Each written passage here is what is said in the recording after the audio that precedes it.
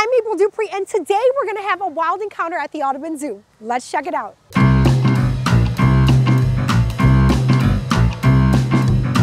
So we have two jaguars here at Audubon Zoo. Um, we have our male Valerio, and then this right here is our female Reina. Let's get to it. I'm excited. Yes. Reina is gorgeous, and look, she is spunky She and is ready, ready, to, to, roll. eat. And you go up. Good. Good girl. All right, so you're gonna hold behind this metal piece, Okay. I'm gonna stick some meat on there for you. And then you're just gonna hold it through the mesh, and she will take it right off that stick. This is priceless. And 100% of the proceeds go towards such a incredible things that y'all are Yep. doing within the Institute, which is always good in my book. Absolutely. High five!